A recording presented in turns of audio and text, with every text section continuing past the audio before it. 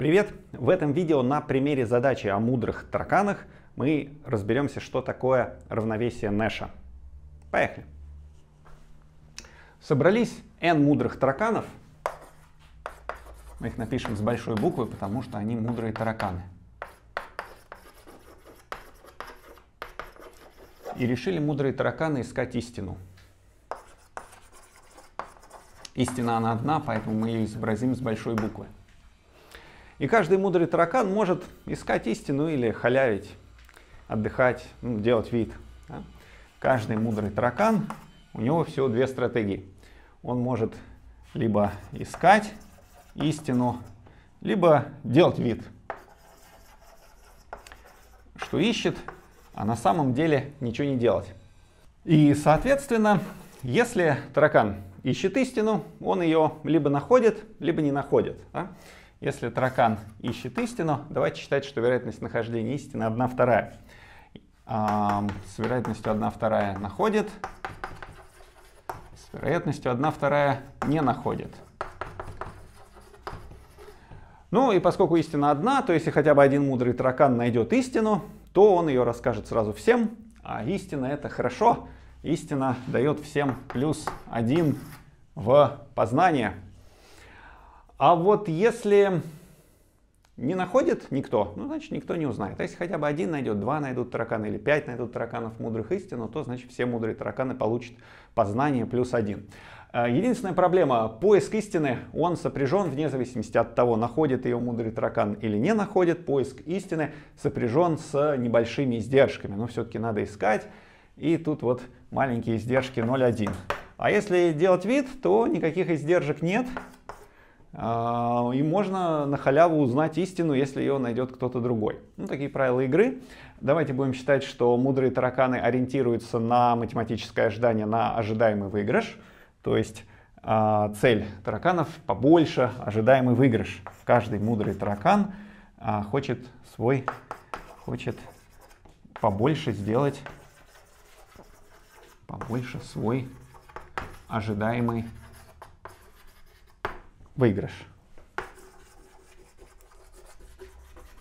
Ну, давайте разберем, чтобы точно понять а, условия задачи, а, какой-нибудь пример. Допустим, есть три мудрых таракана, и двое из них ищут истину. Да? Ищут, ищут, а один делает вид. Вот. Первый ищет истину, второй ищет истину, а третий делает вид. И давайте посмотрим, какой будет ожидаемый выигрыш первого игрока, первого таракана. Ну, конечно, он ищет истину, поэтому он работает, тяжко работает. У него сразу минус 0,1, потому что он работает. Зато есть вероятность, что э, кто-то из этих двоих найдет истину. Значит, плюс 1 и 1 мы должны умножить на вероятность того, что хотя бы кто-то в этой троице найдет истину. Ну, поскольку двое ищут, а один делает вид, что ищет, то вероятность нахождения истины равна 1 минус вероятность ненахождения истины. То есть это 1 минус 1 вторая в квадрате. 1 вторая в квадрате это вероятность того, что никто из ищущих не найдет истину, и 1 минус 1 вторая в квадрате это вероятность того, что истину найдет хотя бы кто-то. А вот полезность, например, третьего таракана, она немножко повыше, чем полезность первого, потому что он не ищет истину, он делает вид, у него ноль в издержках, однако вероятность того, что он ее узнает, ровно такая же. Истина она одна, и как только ее кто-то из мудрых тараканов узнает, ее узнают все. Радость познания, она распространяется на всех. Вот такие вот выигрыши в данном примере. А теперь, когда мы поняли, как устроены выигрыши, мы можем понять, а, что предлагает теория игр в качестве концепции решения. А что такое равновесие Нэша. Вкратце дадим напоминание о том, что такое равновесие Нэша. Равновесие Нэша — это такой исход игры, то есть такой набор стратегий, соответственно, исход, в котором ни один из игроков, ни один из мудрых тараканов в одиночку не сожалеет о своем личном выборе. Исход игры, в котором ни один игрок не сожалеет о своем выборе. Ну, давайте посмотрим, сожалеет ли кто-то из игроков о своем выборе. Ну, например, а, сожалеет ли игрок, который делал вид. Давайте посмотрим сейчас, какая полезность у третьего игрока. У третьего игрока полезность равна 1 вторая в квадрате 1 четверть равна 3 четверти. Вопрос, мог ли он сделать полезность выше? Ну, то есть, если бы третий игрок, скажем, черт возьми, если бы я знал, что они будут искать, может быть, мне тоже стоило бы поискать. Да? Давайте посмотрим, третий игрок, а, рассматривает ли он а, получает ли он выгоду от альтернативного поведения. То есть, если бы третий игрок вернулся в прошлое и зная, что первые два ищут истину, тоже бы поискал истину. Да? А, тогда ситуация была бы такая, все трое ищут, и было бы некое U3 штрих, альтернативное удовольствие третьего мудрого таракана от отклонения от текущей стратегии. В одиночку мы стратегии двух фиксируем, а третья отклоняется. Тогда бы он получил минус 0,1 из-за того, что э, не делал бы вид, а искал, но зато а, возросла бы вероятность открытия истины. А теперь вероятность открытия истины равнялась бы единичке минус вероятность того, что никто из трех не откроет истину, то есть 1 вторая в кубе. И это было бы 1 вторая в кубе это 1 восьмая, 1 минус 1 восьмая это 7 восьмых, и соответственно мы получили бы 7 восьмых минус 0,1. Ну и нам надо сравнить, что выгоднее третьему игроку. 3 четверти, это 0,75. Либо э, а, 7 восьмых, это соответственно 0, вот это вот, это 0,875 минус 0,1, да, и это получается 0,775.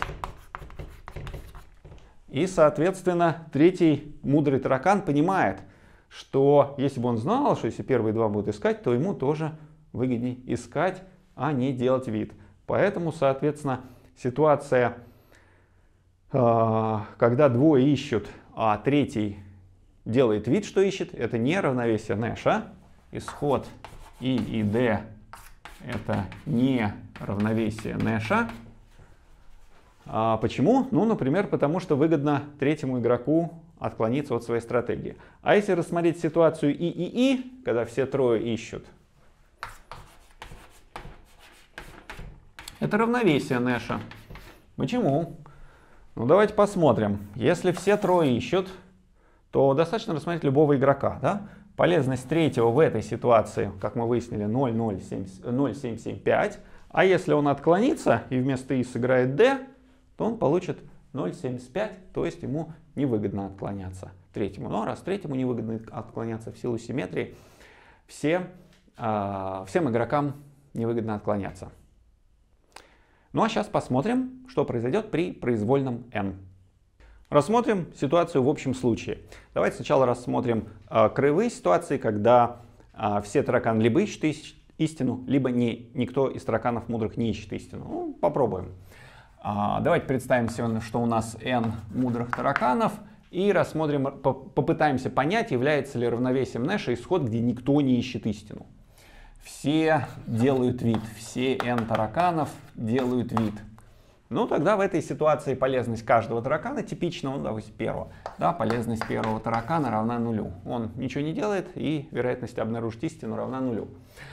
А, однако, если я, первый мудрый таракан, в одиночку а, решу искать истину, когда остальные ничего не делают, а, а вернее только делают вид, то я получу U1 штрих, я потеряю издержки поиска истины, зато приобрету половинку, а, вероятность обнаружения истины будет 0,4, поэтому мне выгодно искать. Получается, что ни при одном n а, не бывает равновесием Нэша ситуация, где все мудрые тараканы только делают вид. Хотя бы кто-то всегда ищет истину.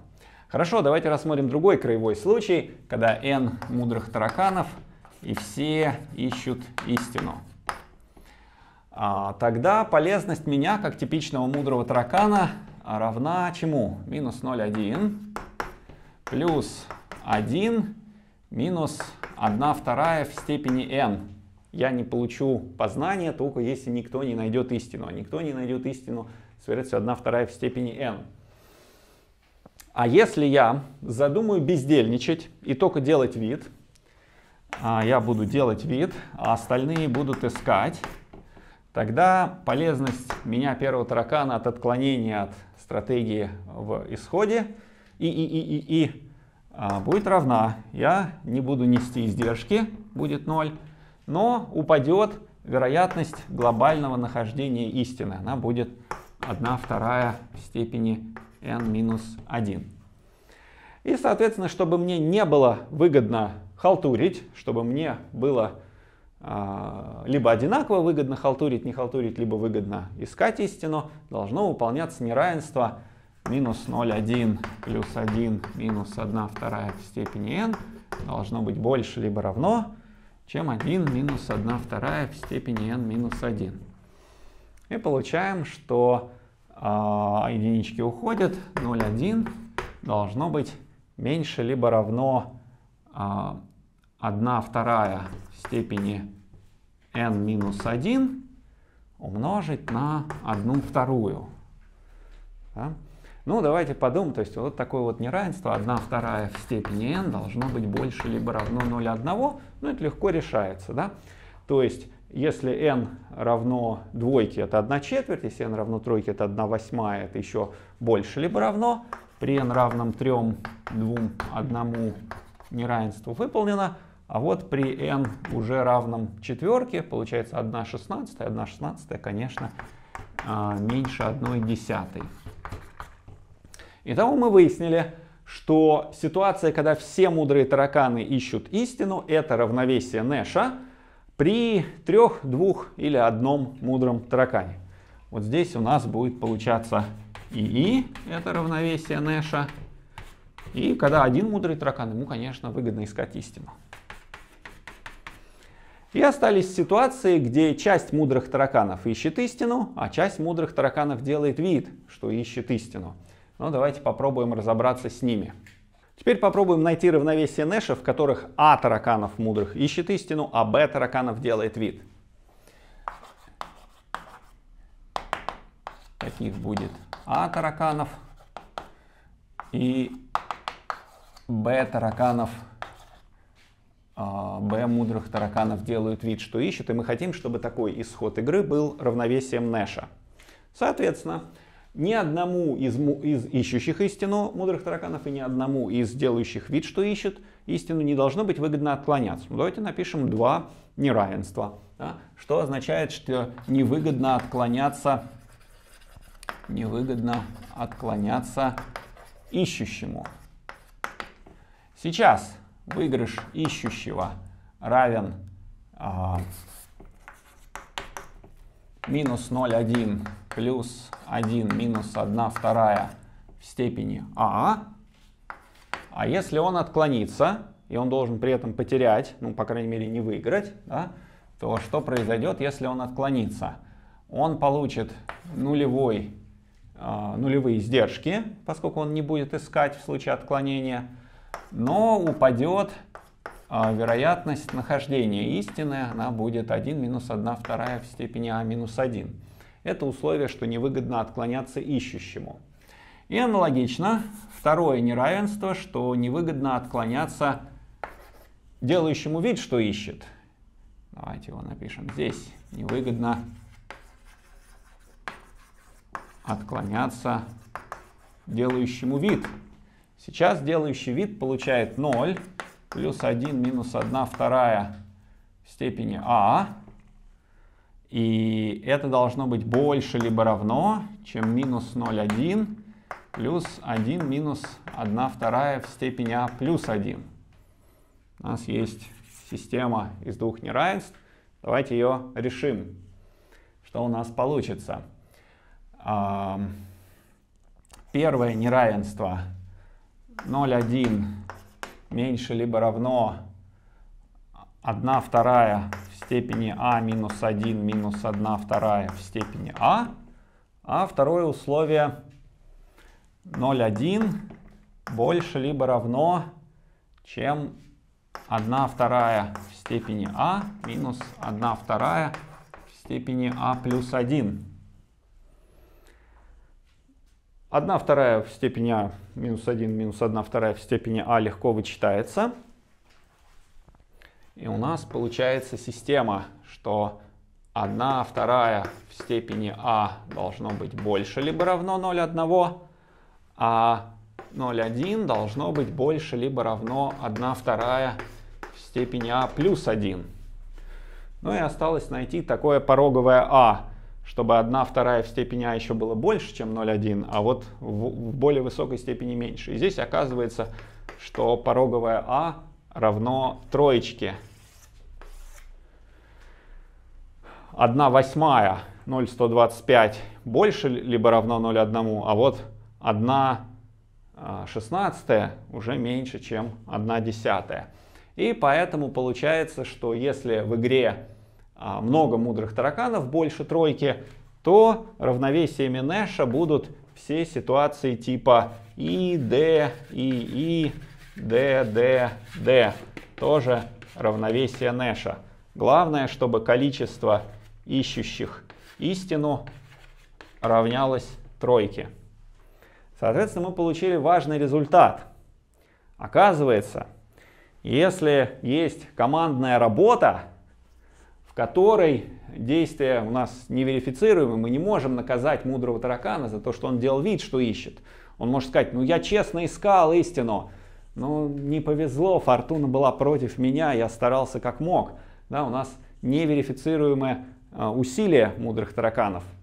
И в этой ситуации оказывается, что если мы добавляем мудрых тараканов в команду, то э, в любом равновесии Нэша больше трех мудрых тараканов искать истину не будет. Есть некая пороговая численность команды, э, больше которой уже э, количество ищущих истину не растет в равновесии Нэша. И теперь нам осталось рассмотреть последнюю а, идею применительно к этой задаче. Мы попробуем посмотреть, а что будет, если мы попытаемся найти равновесие Нэша в смешанных стратегиях. Что такое равновесие Нэша в смешанных стратегиях? Смешанная стратегия означает рандомизированное поведение игрока. То есть каждый игрок у нас будет не просто либо ищу истину, либо не ищу истину. А теперь каждый мудрый таракан сможет да я с вероятностью 0,7 ищу истину, с вероятностью 0,3 отдыхаю. Да? То есть мы добавим рандомизацию в действие каждого игрока. Соответственно, у нас каждый игрок, у нас теперь появляется некая смешанная стратегия S, которая состоит в том, что с вероятностью P я ищу истину, а с вероятностью 1 минус P я делаю вид, что ищу истину. Это просто условная запись, здесь не стоит понимать как вот это как арифметическое умножение. И это означает искать истину, p умножить на i, это означает с вероятностью p искать истину. Это некая конвенция, да, может быть ее стоит кавычки взять, это не в прямом смысле умножения, просто удобная запись, которая понятно, что вот с вероятностью там, p я ищу истину, с вероятностью 1 минус p я делаю вид, что ищу истину. И мы для, немножко для упрощения, хотя можно в принципе решить эту задачу и в общем виде, когда мы допускаем возможность разных смешанных стратегий у игроков, но для упрощения, для понимания концепции, а, мы э, предположим, что все мудрые тараканы используют одну и ту же а, смешанную стратегию S с одинаковыми P. То есть каждый мудрый таракан, он с вероятностью одной и той же P ищет истину и с вероятностью 1 минус P делает вид, что ищет истину, и мы найдем, соответственно, равновесие Нэша, то есть найдем P в данной ситуации. Поехали. Итак, нас интересует равновесие Нэша, где n мудрых тараканов ищут истину. А, то есть равновесие вида S, S, S, S, а, где каждый из них ищет истину с P и с вероятностью 1 минус P делает вид.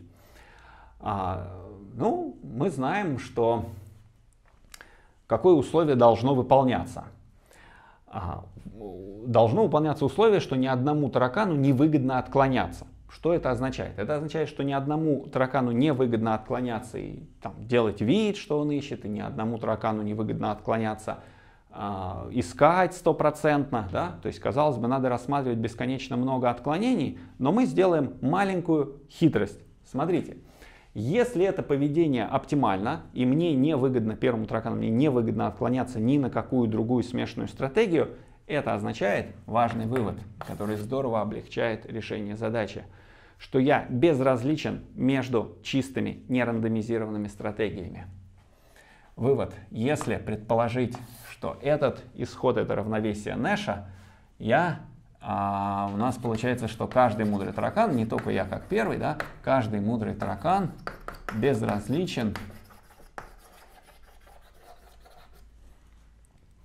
между нерандомизированными стратегией искать и делать вид.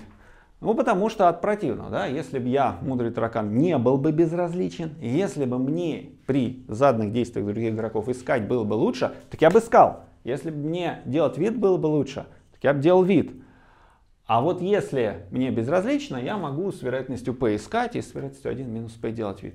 И это классное условие дает нам уравнение. Давайте смотреть. А, значит, мы выяснили, что когда мудрый таракан 1, да, при n равном единичке, мы уже выяснили, что мудрый таракан точно будет искать истину. Ну, рассмотрим случай n больше либо равной двойке. Да? Какое уравнение это нам дает? Это нам дает э, уравнение следующего вида. Если я ищу, а остальные смешивают, то моя полезность должна быть равна моей полезности, если я делаю вид, а остальные ищут. Вот оно, уравнение, давайте его выпишем. Если я ищу, а остальные делают вид, то что я теряю? Я теряю минус 0,1 издержки поиска, плюс какова вероятность того, что хотя бы кто-то найдет? Да? Это 1, минус вероятность того, что никто не найдет истину. Какова вероятность того, что я не найду истину? Это 1 вторая. Какова вероятность того, что эти парни не найдут истину? Ну, во-первых, этих парней, оставшихся их n-1. Но они могут не найти истину в двух ситуациях. Поскольку они с вероятностью 1 минус p халявят, то с вероятностью 1 минус p они ее просто каждый могут не искать. А еще они могут ее искать, но может не повести. Тяжек путь, поиск истины. То есть, либо я не ищу истину, либо я ее ищу, но мне не повезло. И, соответственно, эта полезность должна равняться моей полезности, ежели я ничего не делаю, только делаю вид. 0 плюс. А, и здесь, соответственно, какова вероятность того, что никто не найдет истину? Это 1 минус в степени n минус 1, а здесь получается 1 минус p плюс p на 1 вторую. Никто из n минус 1 моих напарников не сможет сделать нашу общую работу. Решаем это уравнение. А, получаем 0,1 а, перекидываем, единички гибнут, 0,1 перекидываем вправо, остается 0,1. А, и здесь скобка в степени n минус 1, минус половинка такой скобки дает половинку такой скобки а внутри скобки оказывается 1 минус p пополам в степени n минус 1, и это равно 0,1. И, соответственно, э, домножаем на 2, получаем